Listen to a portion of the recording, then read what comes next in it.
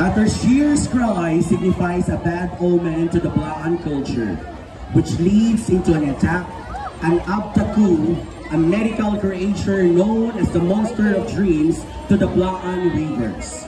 The people of the community ask for the help from the Diwata and eventually fight out the Abtak Israel.